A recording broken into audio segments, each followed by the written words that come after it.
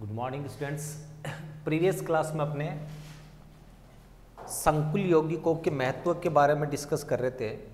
सबसे पहला महत्व अपने किया था एक नंबर, जैविक क्षेत्र में। दो नंबर पे अपने लिया था।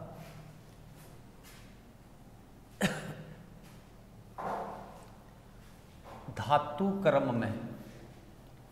तीन नंबर अपने डिस्कस किया था। औद्योगिक क्षेत्र में। चार नंबर बात की थी अपने। गुणात्मक विश्लेषण।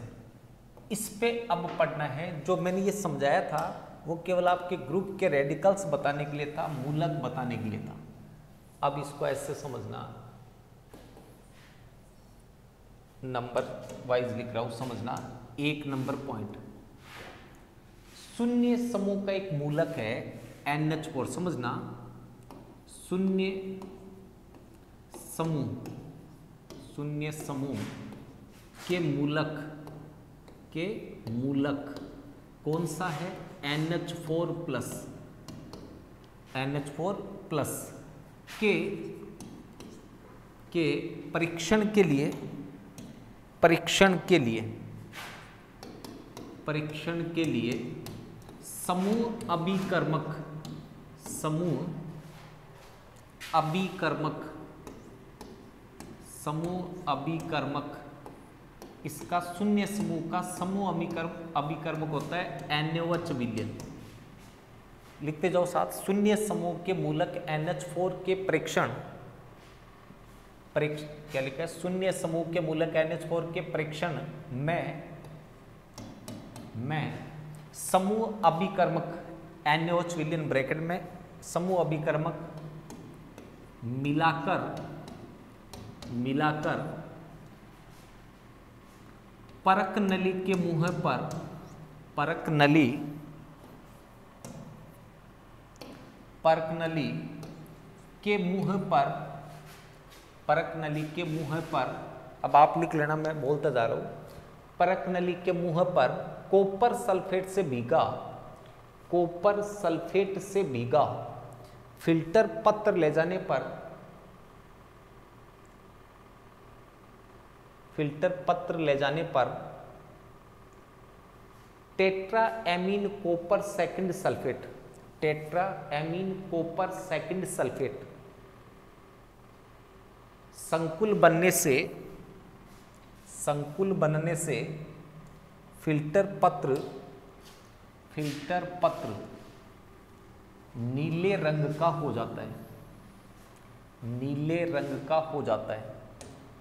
ऐसे टेस्ट समझना। मान लीजिए आपके शून्य समूह का मूलक NH4 प्लस मिला। सबसे पहले समूह की पहचान करने के लिए उस समूह का समूह अभिकर्मक मिलाया जाता है। मान लो आपने समूह अभिकर्मक मिलाया NaOH तो अगर ये अमोनियम है मतलब दिया गया मूलक अमोनियम है तो ये NaOH से क्रिया करके अमोनिया गैस बनाएगा।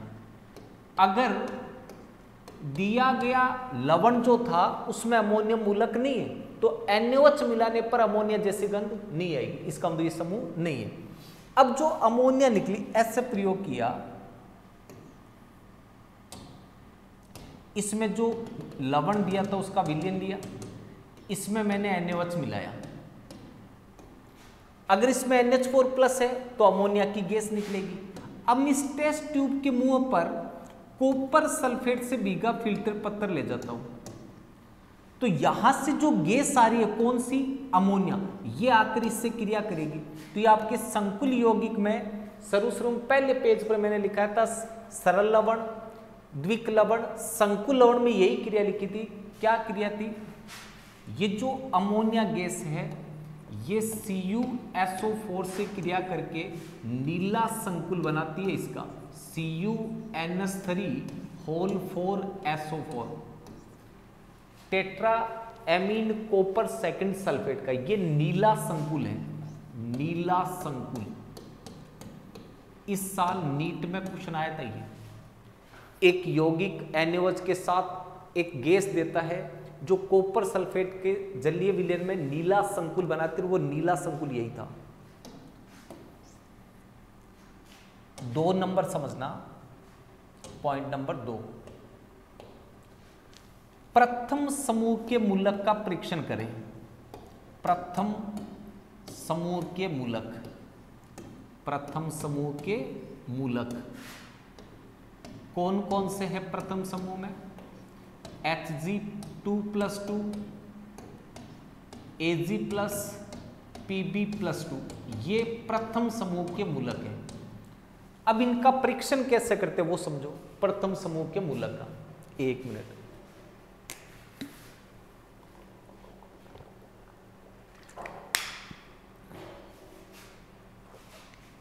आपको जो भी लवण दिया, उस लवण में मान लिए इनमें से कोई उपस्थित है? H G two plus two या पी बी प्लस टू या ए जी प्लस अगर इनमें से कोई है तो इनके जलीय विलयन में जैसे इनका समूह अभिकर्मक, प्रथम समूह का समूह अभिकर्मक होता है एच सी एल तनु एच सी एल तनु एच तनु एच प्रथम समूह का क्या है? समूह अभिकर्मक। आपको मान लीजिए लवण दिया, आपने उसको जल में बोलकर मूल विलियन बना लिया। मूल विलियन में आपने तनु एल मिलाया। अगर इनमें से कोई है, तब तो यहाँ श्वेत अवक्षेप आएगा। श्वेत अवक्षेप। नहीं है तो कोई अवक्षेप नहीं आएगा। दोबारा समझो।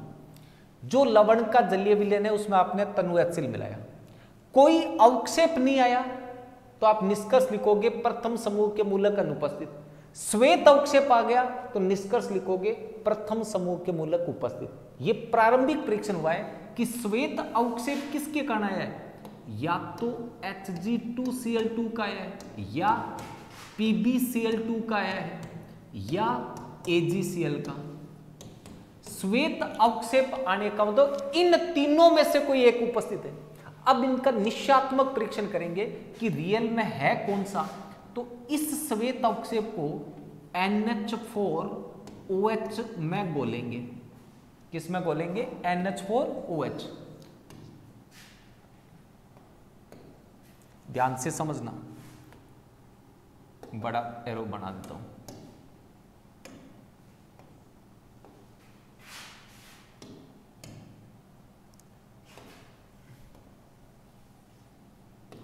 क्या आएगा समझना? एजीसीएल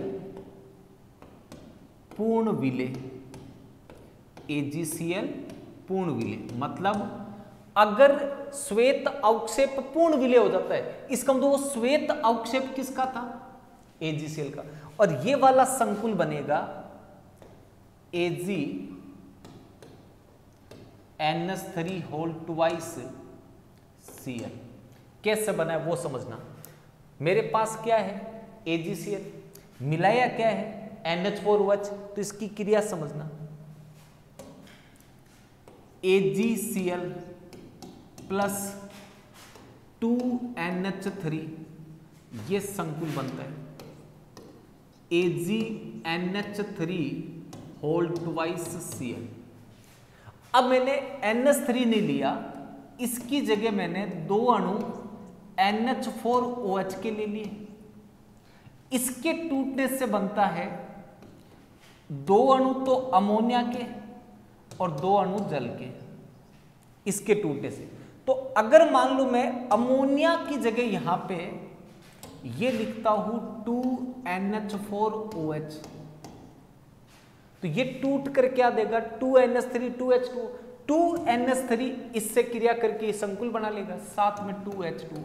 एक्चुअल में ये क्रिया थी, अभी जो पीछे मैंने लिखी। मतलब ये एजीसीएल का श्वेत अवक्षेप पूर्ण रूप से विलय हो जाता है किसमें? NH4OH और ये वाला संकुल बनता है। अगर मान लीजिए, यहाँ पे ऐसे आता।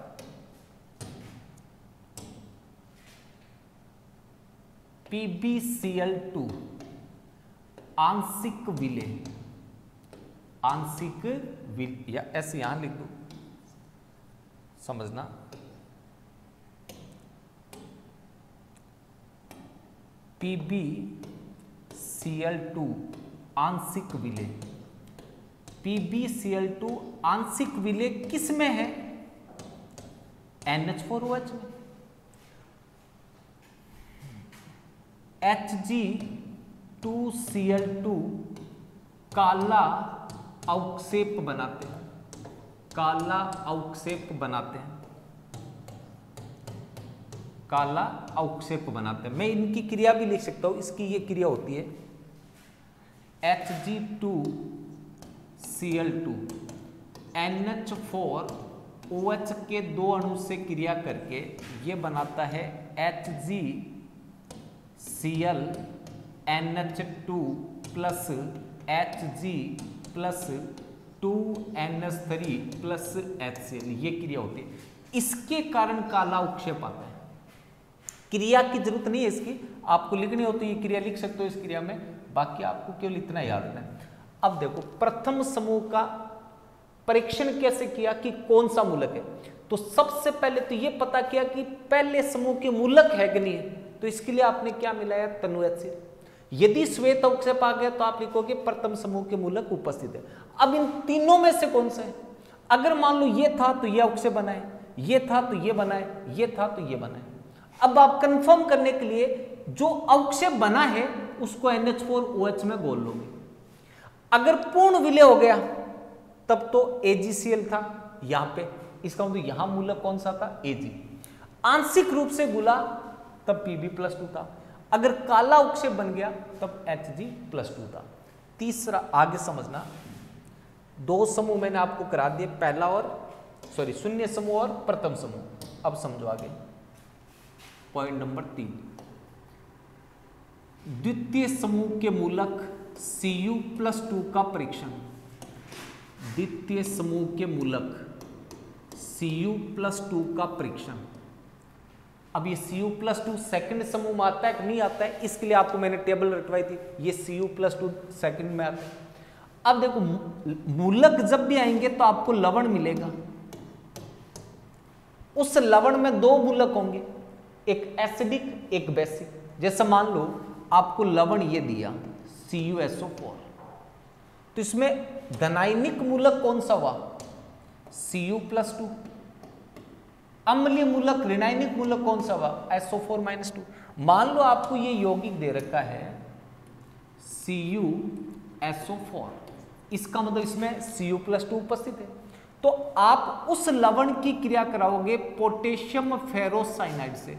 K four F C N whole six इनकी आयनिक रिएक्शन होती है आयनिक रिएक्शन बहुत इजी होती है। सीधा सीधा काम है, इसको आयनों में तोड़ दो। इसके आइंस कौन से बने? C U plus two SO four minus two ऐसे तोड़ना नहीं आपको, इसको भी आइनों में तोड़ दो। के प्लस कितने बनते हैं, उससे मतलब नहीं आइंस कौन कौन से बने, वो लिखने। C N whole six minus four इसके धनाइन की क्रिया इसके ऋणाइन से करवा दो। तो आवेश का अनुपात देखो कितना आएगा। एक अनुपात दो। ये दो संख्या तो यहाँ आ जाएगी इसके पास और ये एक संख्या आ जाएगी इसके पास। योगी कौन सा बना? C U two F E C N whole six plus इसकी क्रिया इससे करा दो। कौन सा यौगिक बना? K two SO four K two SO four अब इसको संतुलित करना है। संतुलित करने का तरीका देखो। संतुलित नहीं भी होता है तो कोई ज़रूरत नहीं एग्ज़ाम में क्रिया नहीं आएगी, सीधा पूछेंगे इसमें उत्पाद कौन सा बनेगा। बट संतुलित करना हो तो समझना, ये पोटेशियम यहाँ या सीयू देख लो। सीयू कितने यहाँ? दो। यहाँ एक है। इसका मतलब यहाँ गुणा करना पड़ेगा दो से। इसको दो से गुणा करती सल्फेट दो बार हो गया। तो यहाँ सल्फेट दो बार लेने के लिए इसको गुणा किया दो से। Two K two SO four. Two से गुणा करती सल्फेट दो बार हुआ पोटेशियम, चार बार। पोटेशियम है चार बार ही है। इसका मतलब बराबर हो गया सब। और ये वाला भाग अभी भी एच टी जी ये जो संकुल बना है, ये वाला, ये बनता है चॉकलेटी अवक्षेप। चॉकलेटी अवक्षेप। चॉकलेटी अवक्षेप। अब बताओ सेकंड समूह के मूलक यू प्लस टू का परीक्षण कैसे किया? कि आपको जो लवण दे रखा है, उस लवण का आपने जलीय विलयन बनाया। जलीय विलयन में सीधा ये डाल दो, पोटेशियम फेरोसाइनाइड अगर चॉकलेट या अवक्षेप बना है तो सी यू प्लस टू उपस्थित था। अगर यहाँ कोई अवक्षेप नहीं बनता तो सी यू प्लस टू अनुपस्थित। नेक्स्ट पॉइंट समझना। चार नंबर।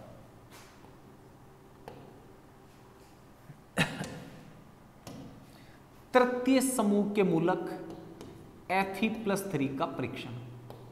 पहले तो ये पता होना चाहिए कि एफ़ ई प्लस थ्री तृतीय समूह में आता है। वो नहीं पता तो मामला गड़बड़ है फिर तृतीय समूह के मूलक एफ़ ई प्लस थ्री का परीक्षण।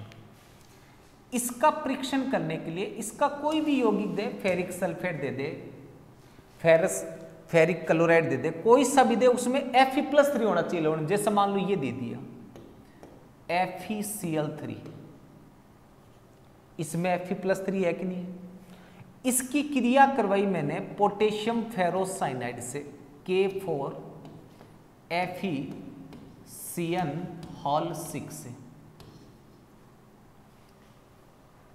मैं चाहता तो इससे भी क्रिया करा सकता था के सी एन एस से। ये एफ़ ही इसके साथ रक्त जैसा लाल विलियन बनाता है और इसके साथ गहरा नीले रंग का विलियन बनाता है। क्रिया पहले की तरह है इन क्रियाओं में से अब जो लिख रहा हूँ, इनमें से एग्ज़ाम आती है, इसलिए आयनिक अभिक्रिया अच्छे से याद रखनी है। इसको तोड़ने से आइन कौन से बनेंगे? F E plus three C L minus.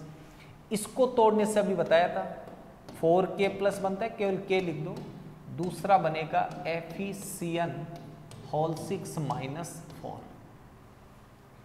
इसकी क्रिया इससे करवा दो।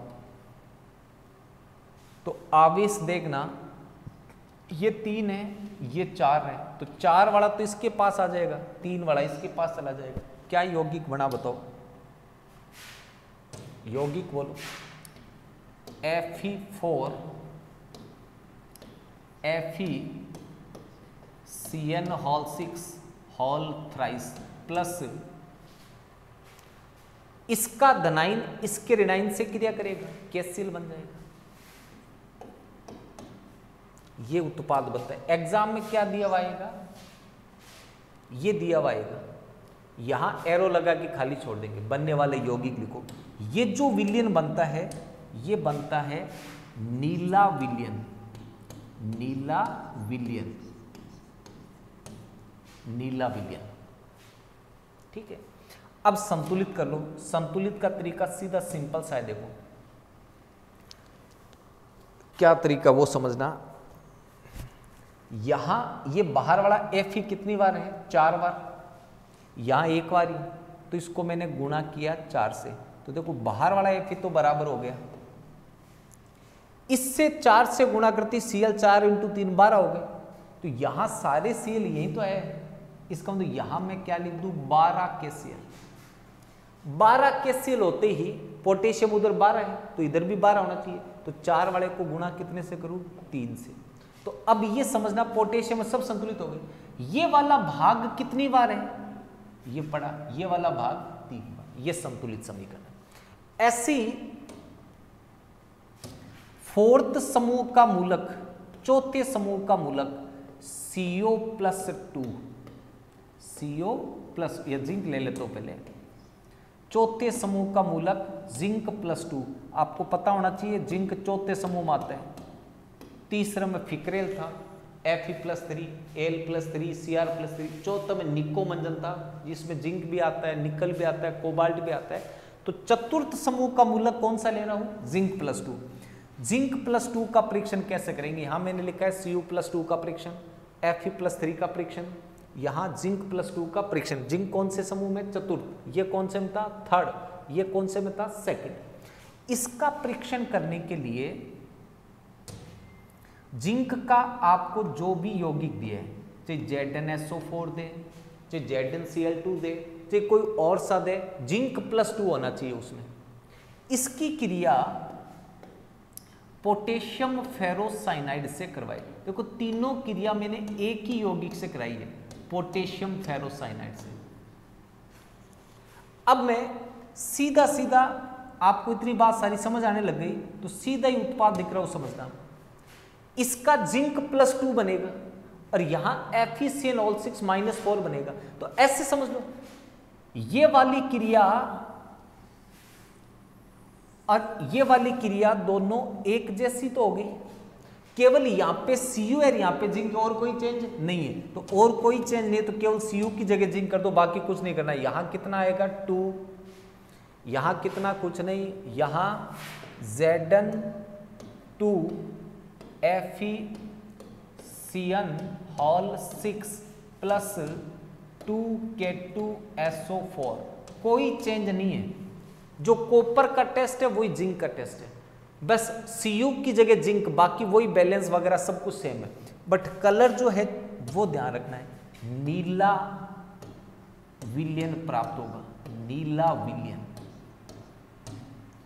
वहाँ चॉकलेटी अवक्षेप आया था, यहाँ नीला विलियन बनेगा।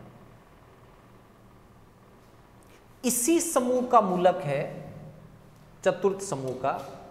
कितने पॉइंट हो गए? पाँच, छठा,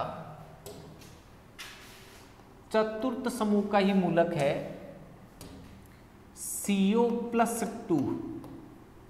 अब थोड़ा सा चेंज कर रहा हूँ समझना। मान लो मैंने इसका मूलक ले लिया सीओ सी एल टू, जिसमें सीओ प्लस टू है। इसकी क्रिया पोटेशियम फेरिसाइनाइड से करानी है। अब तक मैं पोटेशियम फेरोसाइनाइड ले रहा था के फोर एफिसियनोल सिक्स ले रहा था। इस बार मैंने के थ्री एफिसियनोल सिक्स लिया। ये चेंज कोबाल्ट के साथ करना है। कोई ना कोई चेंज करना है तो कोई ना कोई कोई का मतलब कोबाल्ट कोबाल्ट के साथ करना है, बाकी सबसे अंतर। आइंस बोलो इसके। CO plus two C L minus इसके आइंस बोलो। K plus F E C N whole six इस बार माइनस थ्री है। इन दोनों को जोड़ दो। क्या बना? CO thrice F E C N whole six twice. Two आ गया, प्लस के सी एन। फटाफट संतुलित कर दो। ये इससे कैसेल बने गया संतुलित का मतलब यहाँ कोबाल्ट तीन बार है तो यहाँ तीन हो गया ऑटोमेटिक तीन होती सी एल सिक्स हो गई तो यहाँ के सी में सी एल आएगा सिक्स पोटेशियम छः हो गए, यहाँ तीन थे तो इसको गुणा कर दिया दो से। संतुलित है अभी अब इस अवक्षेप का रंग याद रखना है। अवक्षेप कैसा आएगा? ये रहा। लाल भूरा लाल भूरा विलियन। विलियन भी आ सकता है, अवक्षेप भी आ सकता है। अवक्षेप लिख देता हूँ। अवक्षेप, लाल भूरा अवक्षेप।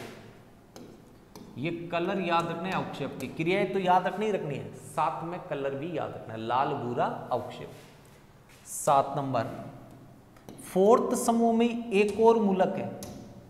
कौन कौन से थे? निकोमंजन। इसका टेस्ट लिखवा दिया। किसके साथ? के फोर एफिसियन होल सिक्स। नीला रंग आया था। इसका लिखवा दिया। किसके साथ?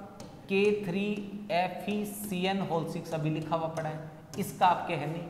अब बच्चा निकल, ये इंपोर्टेड लगाना है। लिखो, चतुर्थ समूह के मूलक। लिखो, चतुर्थ समूह के मूलक। Nickel plus two nickel plus two का परीक्षण। निकल प्लस टू का परीक्षण करने के लिए निकल प्लस टू का परीक्षण करने के लिए इसकी क्रिया डाईमिथाइल, इसकी क्रिया dimethyl glyoxime dimethyl glyoxime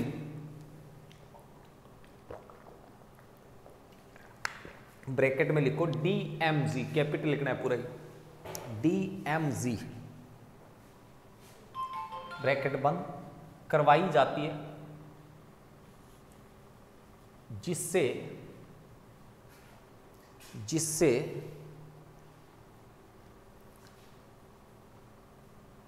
di methyl ग्लाई ऑक्सीमेट डाई मिथाइल ग्लाई ऑक्सीमेट इससे पहले बीस लगा देना, बीस बीस के बाद ब्रैकेट में डाई मिथाइल ग्लाई ऑक्सीमेट ब्रैकेट बंद, nickel second, nickel, sorry nickelate second nickelate second sorry nickelate मत देखो निकल ही लिख दो केवल, निकल सेकंड निकल सेकंड का, निकल सेकंड का अवक्षेप प्राप्त होता है। नीला अवक्षेप प्राप्त होता है, नीला अवक्षेप प्राप्त होता है। अब इस क्रिया को समझना। सबसे पहले तो ये समझो डीएमजी क्या होता है, ये सबसे इंपॉर्टेंट है। डीएमजी डाई मिथाइल ग्लाई ऑक्सिम ध्यान से समझना। इसको बोलते हैं गिलिस, ये एथिलीन ग्लाइकोल क्या नाम इसका? एथिलीन ग्लाइकोल जब भी एल्कोहल का ऑक्सीकरण करवाते हैं ऑक्सीडेशन तो हमेशा एल्कोहल कार्बोनिल यौगिक में प्राप्त होता है। वन डिग्री है तो एल्डिहाइड टू डिग्री है तो कीटोन तो ये दोनों ही एल्कोहल वन डिग्री थे। इसलिए एल्डिहाइड बना। इसका नाम है ग्लाई ऑक्जेल एल्डिहाइड बन गया। अब इसकी क्रिया हाइड्रोक्सिल एमिन से करवाए एनएच टू ओ एच ये क्रिया मैंने आपको जामिति समावयवता में करवाई थी ऑक्जिम में जामिति समावयवता। तो ये जो डबल बॉन्ड था, डबल बॉन्ड, ये इस H2 के साथ निकल जाएगा। इसका मतलब ये C H double bond N से जुड़ जाएगा। तो यौगिक कौन सा बना है समझना?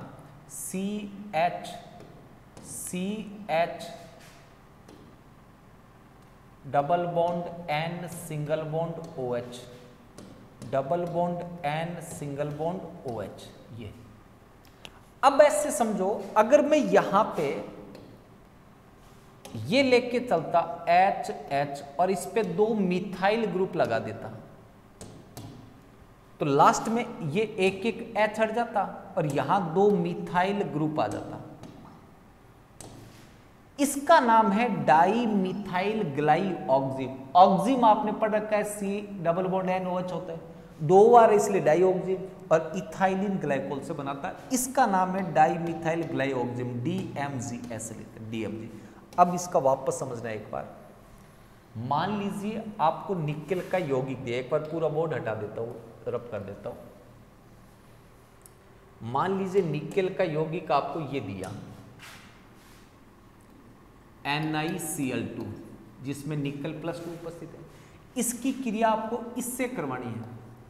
CH3 CH3 C C double bond O sorry single bond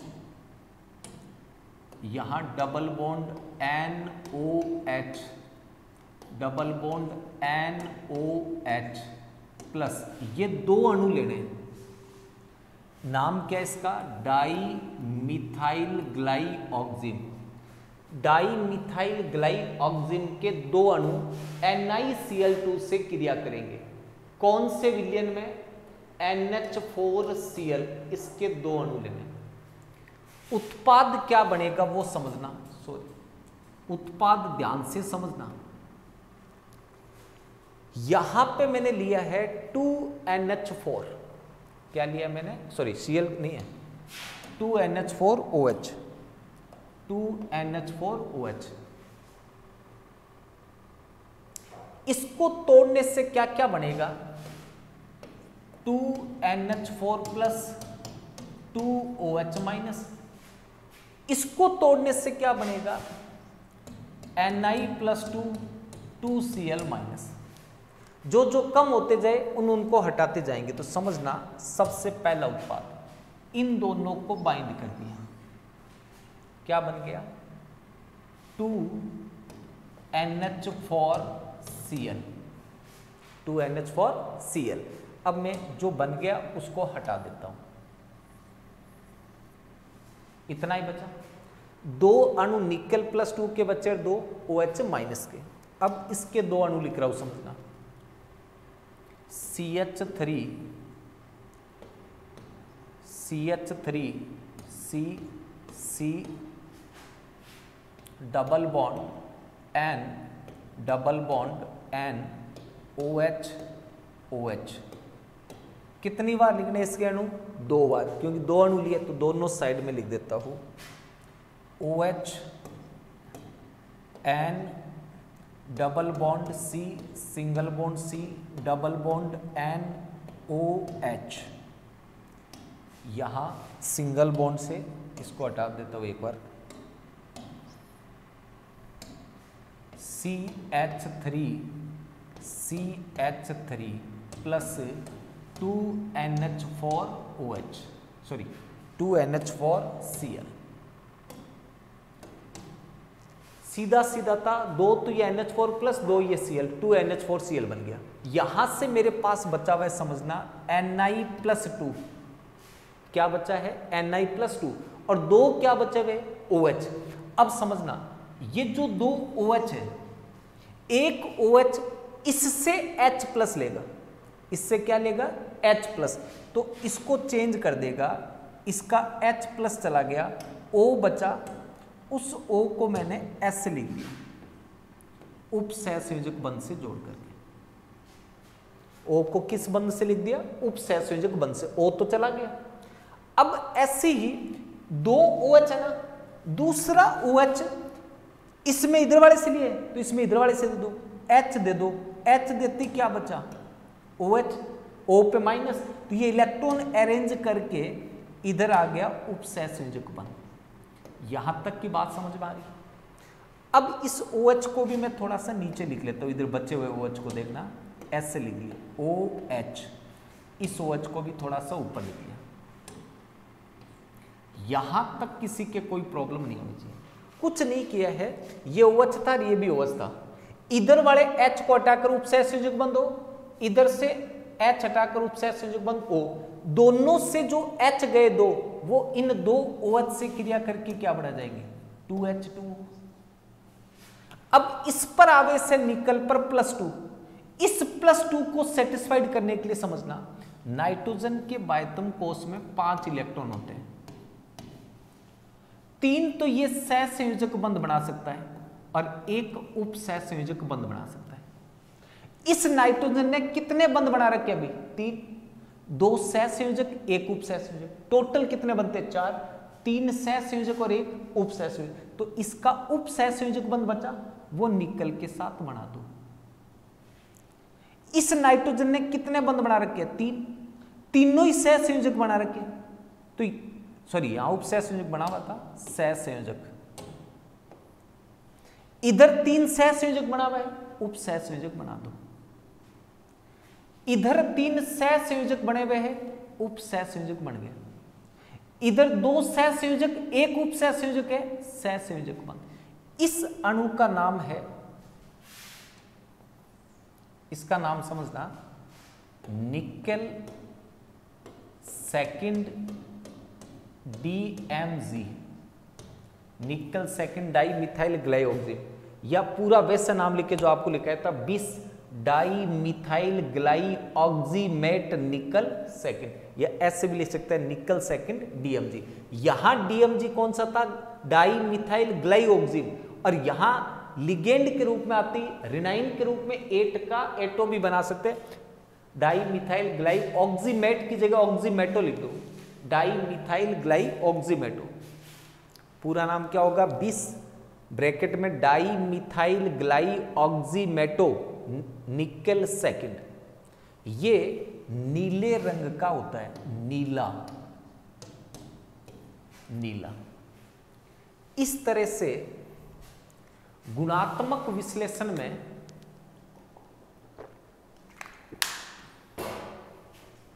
अपने ये सारे पढ़ लिए गुणात्मक विश्लेषण के अंदर कौन कौन से समझना?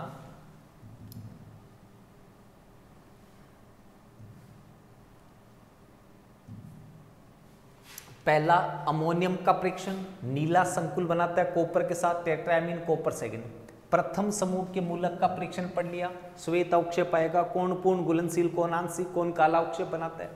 सेकंड समूह के मूलक कोपर का टेस्ट पढ़ लिया।